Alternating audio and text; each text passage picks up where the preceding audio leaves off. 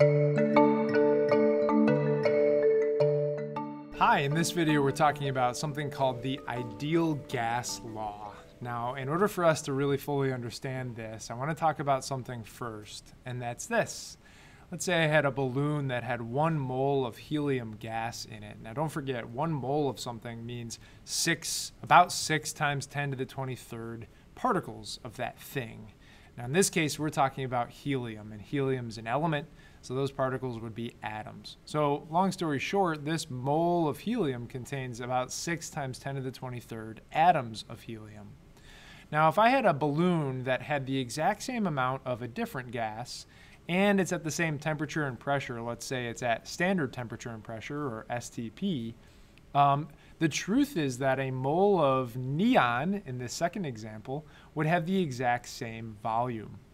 And I could bring in a third example, same temperature, same pressure, same amount of the gas, one mole across all three of these examples.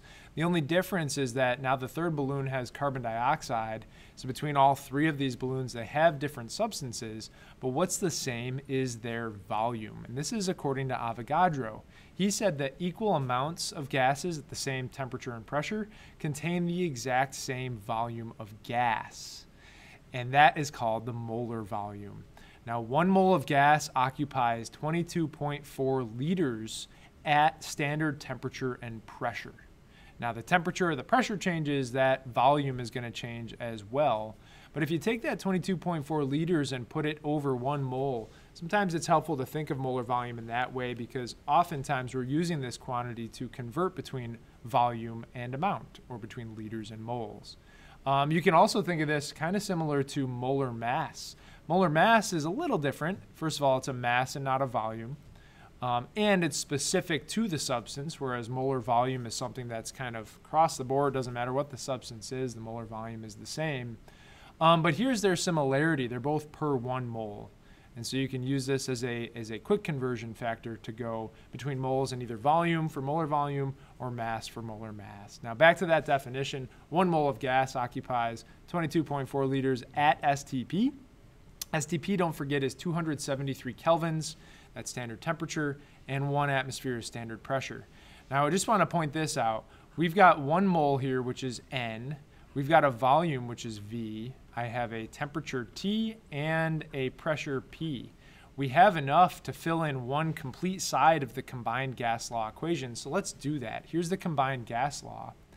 Let's take just one side of this, P times V over N over T, and let's plug in uh, values from that definition. So the standard pressure was one atmosphere. Volume, that molar volume is 22.4 liters per one mole. And standard temperature is 273 kelvins. When I divide these values, I get this number, 0.0821 liter atmospheres per mole Kelvin. Now this is specific to the pressure being in atmospheres, the volume being in liters, moles, and kelvins for temperature. But this is called the ideal gas constant. Sometimes it's referred to as the universal gas constant. Uh, and this gets a letter capital R uh, when used in equations. Now, again, R can change if any of these units change for any of these measurements, P, V, N, and T. So maybe you've got a different R, but in my class, we use liters for volume, atmospheres for pressure, moles, and kelvins for temperature. And so 0.0821 is going to be what we'll use for R.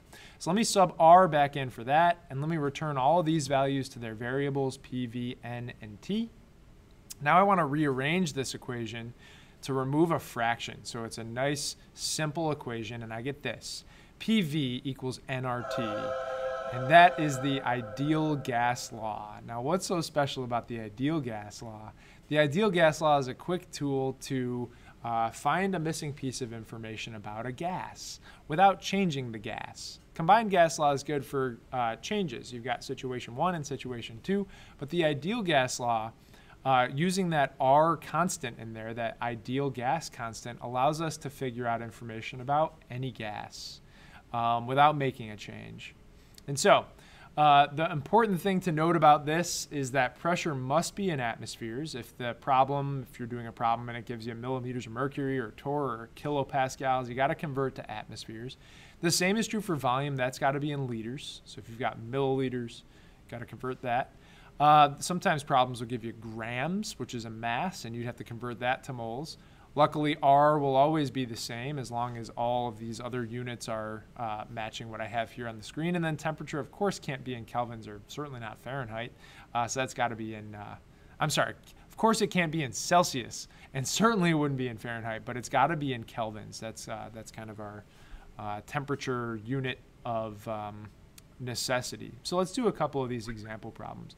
This one says, at what pressure, so we're looking for P, at what pressure will 2.18 moles, so there's N, of chlorine gas occupy 2 liters, there's the volume, at 308 uh, kelvins. So that is temperature. Now, I started easy. We don't have to convert any of these. This is already in moles, this is liters, this is kelvins. So we're just solving for pressure, and our resulting unit will be in atmospheres. So let's start with PV equals nRT. I want to rearrange this for P. So if I divide both sides by V, I get nRT over V. That's what P is equivalent to. So let's plug in what we have then. P is nRT over V. I've got 2.18 moles for N. Uh, for R, I have 0.0821. That is the grossest zero I've ever drawn. There we go. It's still pretty bad. Uh, temperature is 308 kelvins. And then the volume I'm dividing by is 2.00. Uh, you never really want to use that 0.0821 for significant figures determination. So look at all the other uh, measurements in the problem. Uh, this one, you need three significant figures. So the pressure on this is actually kind of large, 27.6, and that's atmospheres. Now compare that against the pressure that you're experiencing probably now, which is one atmosphere. It's 27, 28 times what you're experiencing, so certainly not, certainly not comfortable. Let's do another example. This says a 395 milliliter, uh-oh, 395 milliliters has got to go to liters. How do I do that? Well, some of you know at this point you divide by a 1,000, but why is that the case? Let me just quick do the workout for this.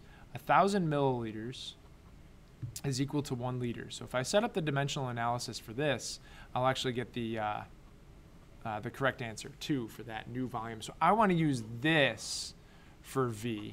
Um, it then says, you know, this sample of water vapor at 233 degrees Celsius. So there's another conversion we'll have to do if we take 233 and add 273 to it. Man, I should be able to do that in my head, but it's been a long day.